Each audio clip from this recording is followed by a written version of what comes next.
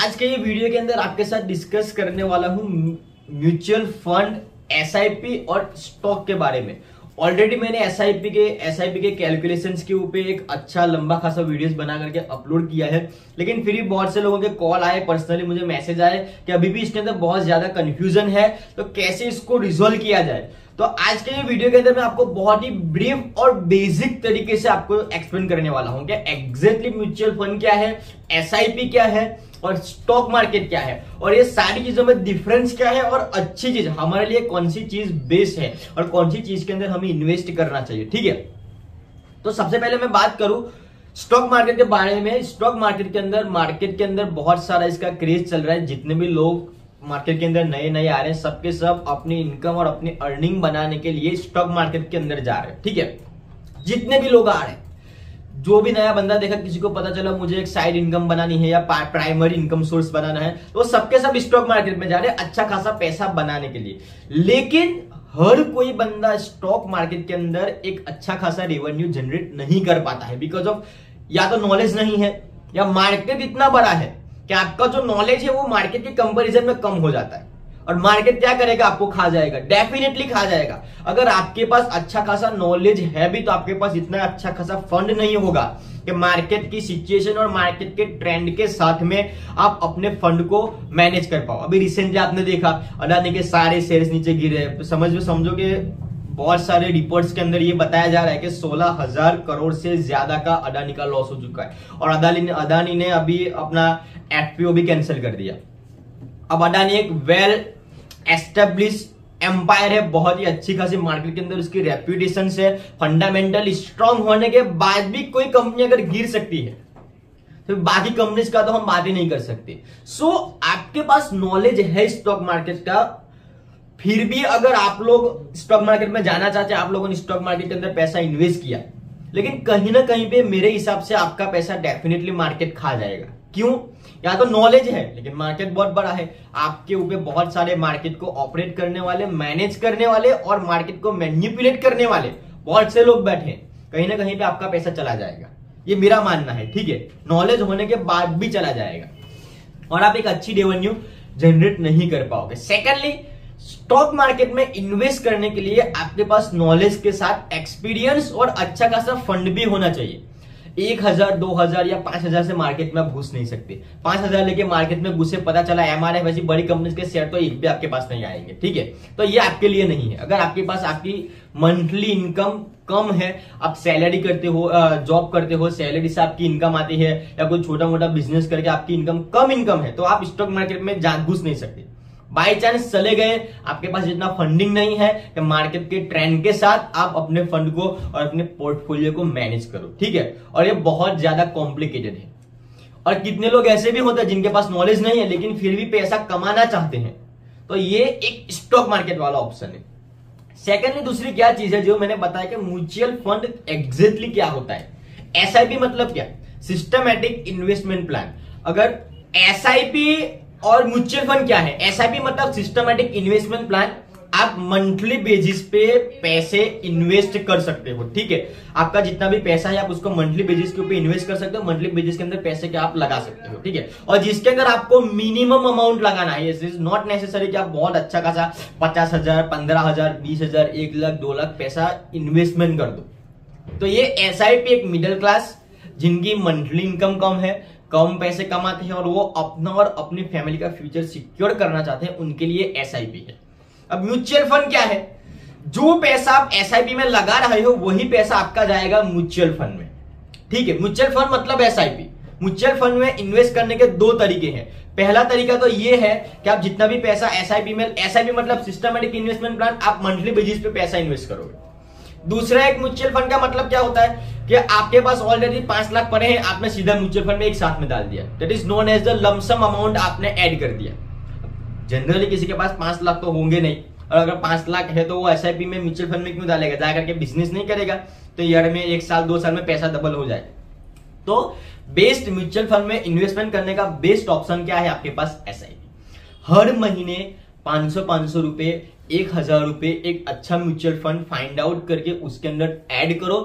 Guaranteed अगर आप 20 साल तक 500 500 रुपए ऐड करते हो तो आई गारंटेड इट के आपको एक करोड़ से ज़्यादा का अमाउंट बीस साल के बाद मिलेगा। एक गवर्नमेंट एम्प्लॉयर सरकारी जॉब करने वाला, सरकारी नौकरी करने वाला बंदा अगर रिटायर होता है तो सरकार उसको ज़्यादा से ज़्यादा कितना फंड देती है? बीस लाख, पच्चीस लाख, तीस लाख फंड प्रोवाइड करती है, ठीक है? भाई रिटायर हो गया बंदा, उसको दस, पंद्रह, बीस लाख दे दो, उसको रिटायरमेंट फंड दे दो, उसका पीछे वाली जितनी भी लाइफ है, पचास साल सत्तर साल के बाद की जो लाइफ है उसकी सिक्योर हो जाएगी। तो एक रिटायरमेंट वाले बंदे को ज़्यादा से ज़्यादा बीस, पच्चीस, पचास लाख मिल सकते हैं। अगर आप एस के अंदर five five hundred rupees add करते हो पर मंथ बेसिस पे तो आपको 20 साल के बाद रिटायरमेंट सात साल के बाद 57, 59, 60 ईयर के बाद 60 ईयर की एज के बाद आपका रिटायरमेंट होता है। और तब जाके आपको 20-25 लाख मिलते हैं। एस में आज से आपने स्टार्ट किया 20 साल के बाद आपको एक करोड़ से ज़्यादा का अमाउंट मिलेगा। उसका कैलकुलेशन कैसे करना है? ऑलरेडी वीडियोस मैंने बनाया है, जाकर के देखो। आप अपने हिसाब से कैलकुलेट करो, आपको वहाँ पे सारा फिगर मिल जाएगा। कि मैं पाँच पाँच सौ पाँच सौ रुपए अगर ऐड भी करता हूँ तो टोटल मेरा अमाउंट कितना होता है? और उसके ऊपर मुझे कितना बेनिफिट मिलेगा? हर चीज़ मैंने एक्सप्लेन किया ठीक है? ना ये तो हो गया इस एस के अंदर इन्वेस्टमेंट करने का। हर साल आप पाँच सौ पाँच सौ रुपए एस के अंदर ऐड करो, और आपको दस, पंद्रह, बीस साल के बाद आपको वो पैसा रिटर्न मिलेगा। बहुत, एक या दो गुना नहीं। कई गुना ज़्यादा मल्टीप्लाई होकर कंपाउंडिंग रिटर्न मिलेगा। कंपाउंडिंग रिटर्न मतलब इस बार अगर आपने दस हज़ार एड किए, पाँच हज़ार उसके ऊपर आपका रिटर्न है। तो नेक्स्ट ईयर पंद्रह हज़ार पे रिटर्न मिलेगा, ना कि दस हज़ार पे। आपका वो टोटल पंद्रह हज़ार। अब पंद्रह हज़ार पे रिटर्न फिर से मिला दस हज़ार। टोटल आपका थर्टी फाइव हो गया। तो नेक्स्ट ईयर उसके अगले साल थर्टी फाइव पे रिटर्न मिलेगा। तो करीब आपके चार या पाँच लाख रुपया बीस साल के अंदर इन्वेस्ट कर पाओगे और चार या पाँच लाख के अगेंस्ट में आपको एक करोड़ से ज़्यादा का अमाउंट एसआईपी या म्यूचुअल फंड से मिलेगा। ठीक है ये तो इन्वेस्टमेंट की सारी चीज़ें थी। अब इसके बेनिफिट्स क्या है? स्टॉक मार्केट में न जाके म्यूचुअल फंड में जाने के बेनिफिट्स क्या है? बहुत ही मोटे मोटे और आ, कम टाइम के अंदर आपको मैं एक्सप्लेन कर देता हूँ। एक तो आप बैंक के अंदर क्या करते हो, जिनके पास अच्छा खासा पैसा है, वो बैंक में एफडी करेंगे, ठीक है? फिक्स डिपॉजिट आपके पास पाँच लाख है, दो लाख है, आपने जाकर के बैंक में डाल दिया। उसका कुछ रूल्स है। एक साल या पाँच साल का जो टाइम उससे पहले आप पैसा विड्रॉ नहीं कर सकते।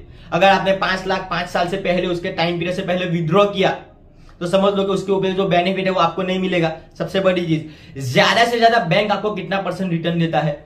छह परसेंट और अगर अभी लेटेस्ट 2023 की बात करो तो कोई कोई बैंक पॉइंट फाइव या सात परसेंट रिटर्न मैक्सिमम एफडी पे आपको सात परसेंट का रिटर्न मिलेगा। उसकी कंपेरिजन में म्यूचुअल फंड में आपको 23 percent twenty three twenty four twenty five thirty percent तक का आपको रिटर्न मिलता है। वो भी कंपाउंडिंग रिटर्न मिलता है। तो आपका पैसा बहुत ज़्यादा डबल हो जाता है। ठीक है? सेकेंडली सबसे बड़ी चीज़ आपके साथ में डिस्कस करूँ। ये एक सबसे बड़ा बेनिफिट था कि आपका जितना भी पैसा आपने लगा करके रखा है, जितना भी पैसा आप एफडी में डालोगे, जितना पैसा आपने एफडी में जमा किया है, वो आपको स्पेसिफिक टाइम पीरियड के बाद मिलेगा। उससे पहले आप विड्रॉ नहीं कर सकते। ज़्यादा से ज़्यादा आपको सिक्स परसेंट का रिटर्न मिलेगा। अब आते हैं म्यूचुअल फंड म्यूचुअल फंड में क्या है? आपने जितना भी पैसा डाला है जितना आप कभी भी उसको विड्रॉ कर सकते हो। और वो भी with in a fraction of second mobile के अंदर जाओ एप्लीकेशन ओपन करो, टिक टिक टिक टिक। आपको ओटीपी बैंक अकाउंट ऐड करो क्लिक करो। जितना भी पैसा आपने डाला है फ्रैक्शन ऑफ़ सेकंड में वो सारा पैसा आपके बैंक अकाउंट में आ जाएगा। ठीक है, ये पहली चीज़। सबसे बड़ा कि आपने जितना पैसा डिपॉजिट किया है एसआईपी में म्यूचुअल फंड में you can withdraw any time कभी भी वो पैसा आप ले सकते हो। पहली चीज़। दूसरी चीज़, एक और चीज़ होती है कि बैंक में या पोस्ट ऑफ़िस में कहीं पे भी आपने देखा होगा, एक और ऑप्शन होता है रिकरिंग डिपॉजिट कि आप दर महीने एवरी मंथ 500 500 ऐड करो एक एक हज़ार ऐड करो। लेकिन रिकरिंग डिपॉजिट में भी आप पैसा कभी विड्रॉ नहीं कर सकते। उसका टाइम पीरियड आपने जो पाँच साल के लिए चूज़ किया है या दस साल के, उससे पहले आप पैसा विड्रॉ नहीं कर सकते। सेकेंडली आपको every month five hundred anyhow देने होंगे। अगर आप नहीं दोगे लेट करोगे तो पेनल्टी लगेगी। आपका नुकसान है। म्यूचुअल फंड में क्या है? इस बार आपने 500 ऐड किया। सेकंड टाइम आपने 500 ऐड किया। अब तीसरे महीने आपके पास 500 रुपए नहीं ऐड करने के लिए। कोई टेंशन नहीं। स्किप कर दो। कोई पेनल्टी नहीं, कोई हिडन चार्जेस नहीं। आपका एक रुपया वो लोग नहीं लेंगे। ठीक है? उसके बाद वाले मंथ भी अगर आपको पैसा नहीं ऐड करना है, कोई टेंशन नहीं। समझो मैंने पाँच महीना पाँच सौ पाँच सौ लगाया, उसके बाद मेरे पास पाँच, छह, सात, आठ महीने तक मेरे पास पैसा नहीं आया। कोई टेंशन नहीं, मत पैसा डालो। कोई पेनल्टी नहीं लगेगी, कोई एक्स्ट्रा चार्जेस नहीं लगेंगे, कोई हिडन चार्जेस नहीं लगेंगे, ठीक है? और आपने जो पैसा डिपॉजिट किया है म्यूचुअल फंड में एस में वो हंड्रेड परसेंट सेफ़ रहेगा। आप उसको कभी भी विड्रॉ कर सकते हो, ठीक है? ये सबसे बड़ा एडवांटेज है। कभी भी अगर आपको इन बिटवीन ज़रूरत रहती है कि मैंने अभी तक के पचास हज़ार या एक लाख मेरा डिपॉजिट हुआ है, अब मुझे अर्जेंटली रिक्वायर्ड है टेन थाउज़ेंड निकालना है। आप उसमें से टेन थाउज़ेंड भी निकाल सकते हो, पूरे अमाउंट भी निकाल सकते हो, जितना आप निकालना है, आप अपने हाथ से, अपने घर से, अपने फ़ोन से विद इन अ सेकंड निकाल सकते हो। आपको ना कोई बैंक की विज़िट करने की ज़रूरत है, ना आपको कोई पोस्ट ऑफ़िस में जाने की ज़रूरत, ना आपको कोई फॉर्म फिलअप करने की ज़रूरत है। वो सारा आपके मोबाइल आपके एप्लीकेशन से विड्रॉ हो जाएगा। जो कि एफडी में रिकरिंग एफडी में फिक्स डिपॉजिट में, या कोई आपने LIC का, या कोई और कंपनीज़ का, कोई बैंक का, आपने कोई लाइफ इंश्योरेंस या कोई ऐसा प्लान लिया जिसके अंदर आप पैसा विड्रॉ नहीं कर सकते। अगर आपने किया, उसके बहुत सारे प्रोटोकॉल्स बहुत सारे उसके रूल्स होंगे जिसके अंदर बहुत सारे प्रॉब्लम्स बहुत सारे इश्यूज़ आएँगे। आपको ये पेनल्टी देनी पड़ेगी, आप सरेंडर करोगे तो आपका इनाम अमाउंट होगा। म्यूचुअल फंड के अंदर आप हंड्रेड सेफ़ ठीक है? तो आप कभी भी पैसा डालो पैसा कभी विड्रॉ कर सकते हो। आपको जितने टाइम पीरियड के लिए रखना है, आप उतने टाइम पीरियड के लिए पैसा म्यूचुअल फंड के अंदर ऐड कर सकते हो। समझो कि मुझे दस साल लगाना मैंने दस साल लगाया। मेरा अभी कोई टाइम फिक्स नहीं है। मैंने तीस थर्टी ईयर्स का मैंने टाइम पीरियड सिलेक्ट तो किया है। लेकिन मैंने स्टार्ट किया। अब मुझे दूसरे ही महीने पैसे की ज़रूरत है तो मैं पैसे विड्रॉ कर सकता हूँ। नहीं चाहिए, मैं थर्टी ईयर्स तक उसको कंटिन्यू कर सकता और गारंटी आपको twenty five to thirty percent return आप एक साल पर ईयर या पर थ्री इयर्स अर्न कर सकते हो। अगर आपने चार पाँच लाख रुपए आपके बीस साल के अंदर वहाँ पे डिपॉजिट होते हैं, उसकी कंपैरिजन में म्यूचुअल फंड आपको कम से कम एक करोड़ से ज़्यादा का अमाउंट देगा। उसका कैलकुलेटर होता है, कैसे उसको कैलकुलेट करना है कि मैं कितने डालूँगा, कितने साल तक डालूँगा तो मुझे कितना मिलेगा? उसका कैलकुलेटर का एक वीडियो मैंने प्लेलिस्ट के अंदर इन्वेस्टमेंट प्लेलिस्ट के अंदर मैंने डाल के रखा है, वहाँ पर जाओ और उसको स्टडी करो, पूरा वीडियो देखो आपको ज़्यादा क्लियरिफिकेशन आ जाएगा। सेकंडली स्टॉक मार्केट में और म्यूचुअल फंड में क्या डिफरेंस है? स्टॉक मार्केट में और म्यूचुअल फंड के अंदर, दोनों के अंदर सबसे बड़ा डिफरेंस क्या है कि जो पैसा आप स्टॉक मार्केट के अंदर लगाने वाले हो, वो आपको अपने हिसाब से आपको खुद स्टडी करके सारा पैसा लगाना पड़ेगा। वहाँ पे आपका नॉलेज वीक हो गया, आपको पता नहीं चला, आपने पैसा लगा दिया, आपका पैसा डूब जाएगा मार्केट आपका पैसा खा जाएगा। म्यूचुअल फंड में क्या है?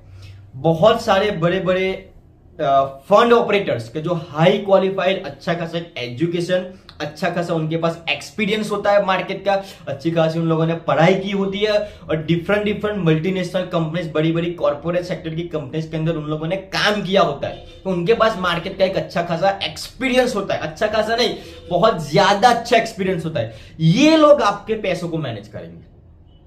आप खुद मैनेज करने जाओगे तो डेफिनेटली जहाँ तक मेरा एक्सपीरियंस है मार्केट आपका पैसा खा ही जाएगा। स्टार्टिंग पीरियड में आपको लगे कि मैंने पाँच हज़ार, दस हज़ार कमा लिया, लेकिन एक टाइम पे वो मार्केट में कभी भी क्रैश आया, आपका पैसा खा जाएगा मार्केट समझ लो। म्यूचुअल फंड में क्या है?